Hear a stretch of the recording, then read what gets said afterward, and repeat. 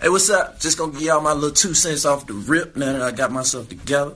Uh, I got respect for Nicki. Uh, me and Nicki didn't work together. I got respect for Remy. Uh, but no matter what you heard, I ain't never had sex with Nicki. I'm staying out the way. It's hip hop, it's entertainment. I'm a fan of both artists, but like I said, ain't nothing ever went down with me and Nicki.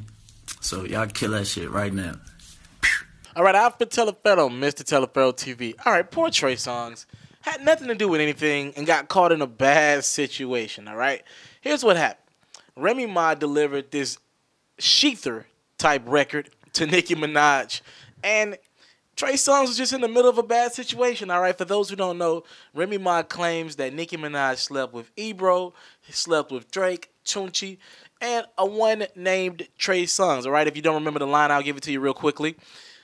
Only time you touch the trigger is when you fucked Trey Songz. All right, that was a line of many that Remy gave Nicki. Now, uh, we've been told that a lot of this is not true. Everybody's coming out and denying this, but it's the fact that Remy said it, all right? It's the fact that Nicki got to live with that truth, got to be asked by that anytime she does interviews, anytime they bring up a Trey Songz, um, anytime, anytime, any just anytime, right?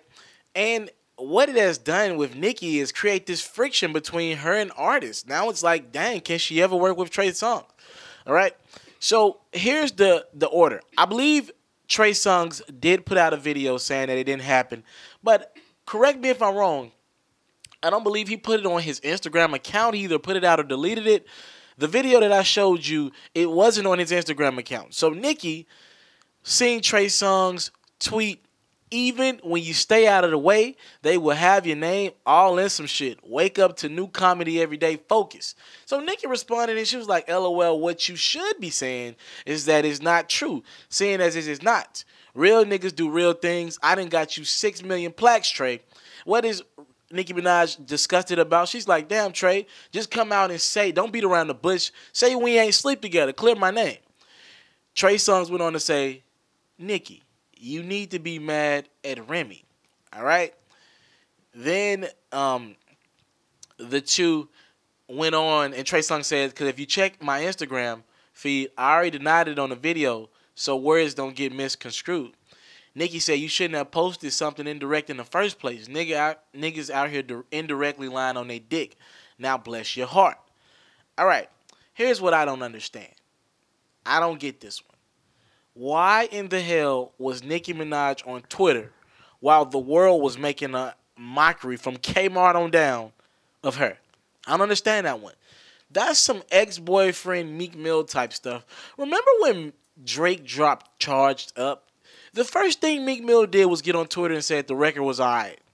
Instead of responding, instead of going to the studio, which is what I believe Nicki Minaj needs to do, she took it to Twitter she became Twitter fingers like her, boy, her ex boyfriend. So you mad at Trey Songz? He shouldn't have to come out and deny anything or say anything. That's not his place. He didn't make the record. He just the the product of his environment. He just so happened to have his name brought up. Would it have been nice for Trey Songz to say it wasn't him? He didn't smash her. It, it, he didn't smash Nicki. Yes, he said it, but Nicki was so caught up in getting out on Twitter and going at everybody but Remy Ma, she going at Trigger for no reason. Right? Alfred Taliaferro, Miss Taliaferro TV. Y'all own one. Y'all own one this weekend. Next video coming up. The game calls out Meek Mill for pretty much rocking with Remy Ma's disc record, all right?